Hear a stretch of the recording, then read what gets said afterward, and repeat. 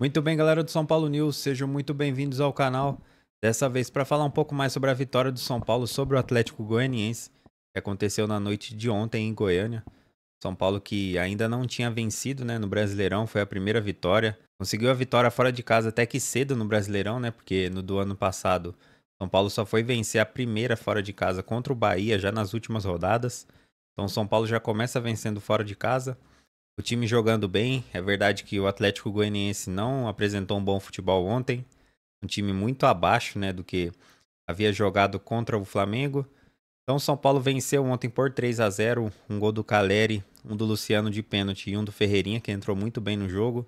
O Alan Franco também foi um dos destaques ontem, né? O São Paulo que iniciou, Milton Cruz, que iniciou é, a partida com a formação de três zagueiros, com Arboleda, Diego Costa e Alan Franco.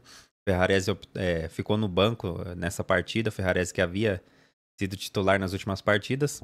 Alan Franco foi um dos destaques né, positivos do São Paulo ontem, é, mostrando é, trabalho, mostrando que pode sim ser titular do São Paulo nas próximas rodadas.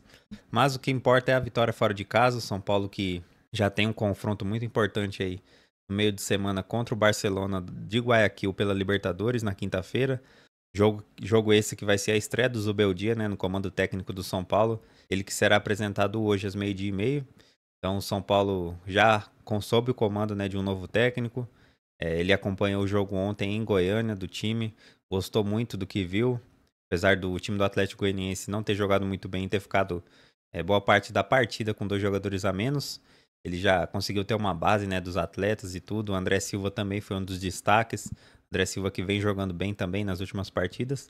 Então o São Paulo tem um elenco bastante forte aí para o restante da temporada, agora com um novo técnico para poder trabalhar, um técnico que gosta de alguns esquemas táticos diferentes, de um, um pivô no ataque, um meia de armação. Então vamos ver como que ele consegue é, escalar essa equipe do São Paulo para a próxima quinta-feira. Obviamente que não vai ter o time completo, né? O Rames Rodrigues possivelmente não joga, o Lucas Moura está se recuperando de lesão, o Wellington Rato, Rafinha. Então, São Paulo tem alguns destaques aí é, de peso, né, para essa partida. Mas o Zubeldia já deve mostrar um pouco mais do esquema tático que ele gosta de colocar a campo e torcer para que dê tudo certo com esse novo técnico. É um ótimo técnico, teve bons números ano passado com, ano passado com a LDU, mas vamos ver como vai ser o desempenho dele no São Paulo esse ano. Então já deixa aí nos comentários como você acha que será a escalação do Zubeldia para quinta-feira contra o Barcelona ele deve iniciar né, com os três zagueiros normalmente, como vem acontecendo. Ele deve é, colocar a formação 4-4-2, com o Caleri e o André Silva novamente na frente, como aconteceu na última partida. É, com a volta do Rames, se o Rames vai ser titular. Ou se ele deve entrar é, em campo um pouco mais defensivo, né? Para conseguir segurar algum resultado, por ser a primeira partida dele no comando técnico do São Paulo. Fechou? Então já se inscreve no canal aí para ajudar a gente a bater a marca de 100 mil inscritos, que falta bem pouco. Deixa seu like. Eu vou ficando por aqui. Um abraço e fui!